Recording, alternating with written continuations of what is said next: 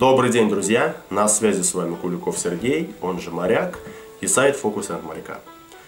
В этом видео мы будем с вами смотреть обзор очередной колоды. Э, победитель июль, июня Карина Зыкова выиграла колоду Medallions и согласилась, чтобы я снял на нее обзор. Так вот, в этом видео мы посмотрим обзор на эту чудесную колоду. Итак, смотрим. Ну что ж, друзья, теперь давайте посмотрим на эту не побоюсь этого слова, роскошнейшую колоду. Это просто офигительная колода, просто обалденная. Колода Медальянса Теория 11. Должен заметить, что Теория 11 прям вообще очень радует своими картами. То есть, если раньше я как-то в одну сторону только смотрел, байсиклы, байсиклы, байсиклы, вот, иногда би, вот, то начал знакомиться с теорией 11, начал знакомиться с ее колодами, я в них просто влюбился. Это просто офигительные колоды. Ну что же, ладно, хватит признаваться в любви. Как известно, моя единственная любовь это море. Ну, и несколько колод карт. Ладно. Значит, что у нас на колодах медальонс? Да, медальонс, конечно же, это переводится как медальоны. Я думаю, всем понятно. То есть коробочка у нас выполнена в таком темном цвете, но это не черный цвет, это такой скорее какой-то коричневый, светло-коричневый. Да, и должен заметить, что коробка выполнена из мотивированной, из матированной бумаги. Мотивированной, хотел сказать. Из матированной бумаги. То есть на ощупь она очень отличается от всех коробок, которые были у меня в руках. Она на ощупь такая, как будто бы прорезиненная, что ли. Вот очень прям приятно ее держать и вот так вот прям гладить. Прям приятные такие тактильные ощущения. Вот.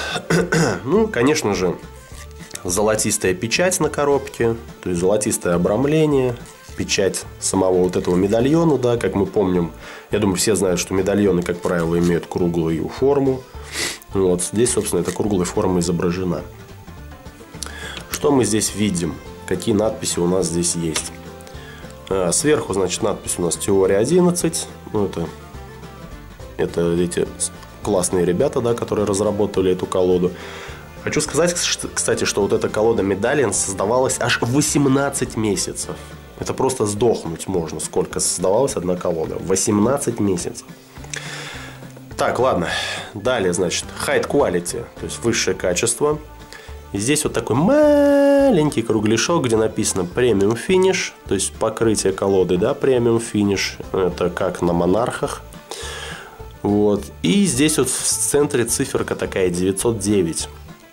909 ну, это серия карт 909, и э, в каждой серии как бы свое качество картона, да, то есть в байсиклах стандартах, например, 808 серия, там свое качество картона. В 909 серии уже качество картона покруче, и 909 серии это вот именно карты, как правило, которые от теории 11 штампуются.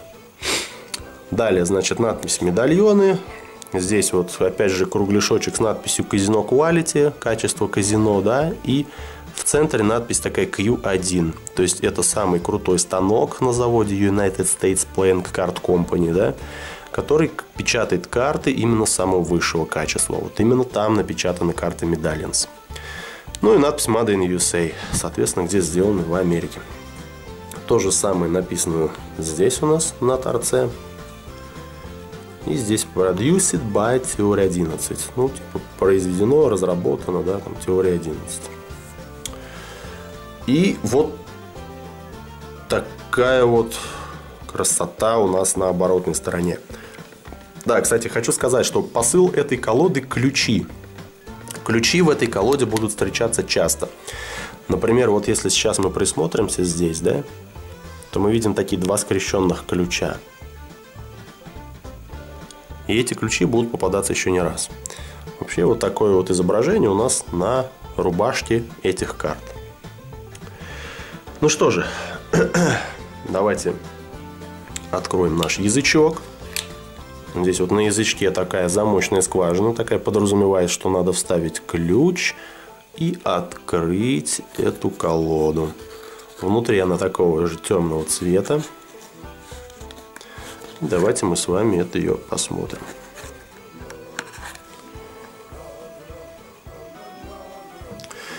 Итак, первым делом, что у нас есть, это, конечно же, как обычно, double back карта. Как обычно, double back карта и, конечно же, рекламная карта от Теории 11. Далее у нас что идет? У нас идут два Джокера и пиковый туз. Как обычно, начнем с них. Э, хочу сказать, что изображения вот эти, да, Джокеры, тузы, все вот эти рисуночки здесь, да, вот особенно на Джокерах это отчетливо как-то заметно, э, выполнены в викторианском стиле.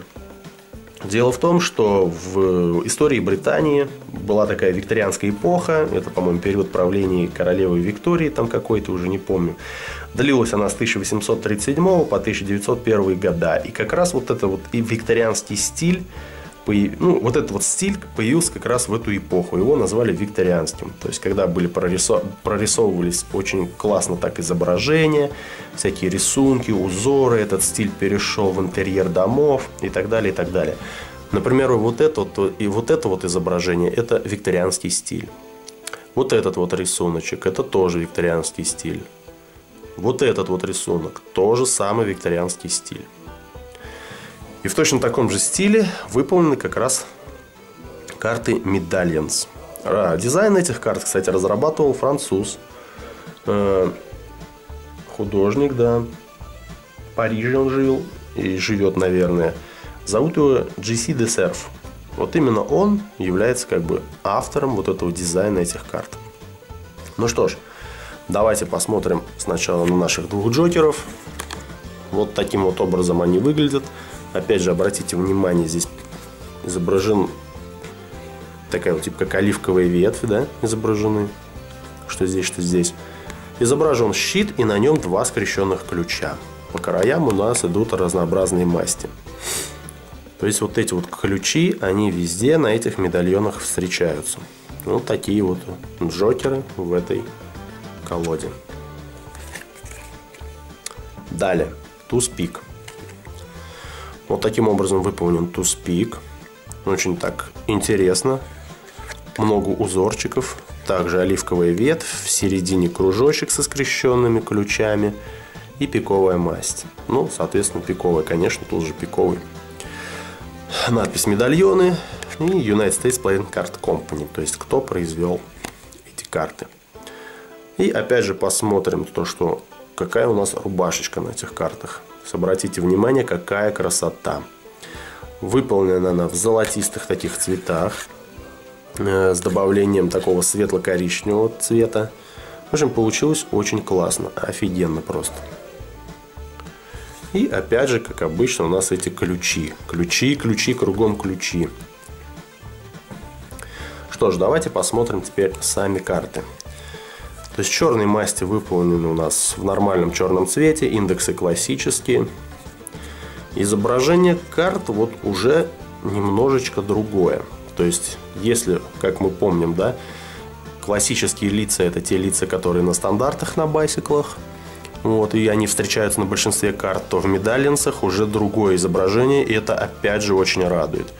То есть, к примеру, смотрите, валет пик – похож на того вальта, который у нас классический, но все-таки он немножечко другой. Обратите внимание, кстати, он держит ключи. Опять же, эти ключи везде. Дама пик. Опять же, смотрите, она с ключами стоит, держит ключи. Вот, к примеру, видите, какая дама пик здесь. И напомню, дама пик у нас с классической колоды. Да? У нас вот такая дама. То есть э, отличие просто колоссальное. Да, по расцветке что хочу добавить. Как обычно, конечно, фишка теории 11 то, что расцветочка не классическая. То есть желтые цвета заменены на такой золотистенький. Красные цвета стали более темными. Остался черный цвет, синий отсутствует, также заменен на черный. Вот. И, конечно же, вот это то, что в золотистом цвете, сейчас не знаю, камера передает, нет. Но вот на свете вот так вот, когда отражается, очень здорово выглядит. То есть вот такая вот у нас дама пик. Вот такой у нас пиковый король. Короли это, кстати, единственные старшие карты в этой колоде, которые не держат никаких ключей. Да, отличие опять же по цвету у красных карт. То есть классическое изображение, э, классические карты просто обычные красные.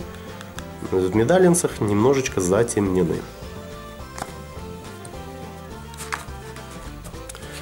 И так, и так, и так. Смотрим далее, далее, далее, далее, далее, далее, далее, далее. Ну, вот, к примеру, бубновый валет, да? Опять же с ключом. Дама бубновая, также с ключами в руках. Ну, короли без ключей. Но зато держит какую-то фишку, в которой отчетливо просматривается замочная скважина. Тоже опять же подразумевает ключ. Крестовый король. Крестовая дама. Как обратим внимание, опять же с ключами, да. Валет крестовый тоже связку ключей держит. Вот такого плана у нас червовый король. Червовая дама с ключом. Червовый валет тоже со связкой. Ну, что-то связка какая-то без ключей. Ну и, конечно же, далее все эти карты по номиналу идут. Вот такие вот у нас прикольные карты, друзья. Карты Medallions обалденные, мягенькие. То есть все с ними делается просто на ура. По мягкости они они такие же, как аристократы, они такие же, как монархи. То есть карты мягкие, а прикольные. Вот, например, артизаны тайкуны, они уже пожестче. Эти нет, эти мягкие, прям вот гнутся. Отлично, работать с ними прям удовольствие.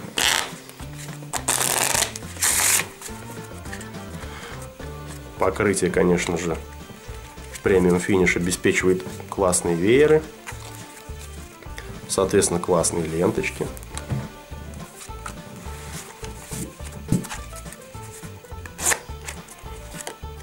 То есть сработать с ними просто превосходно.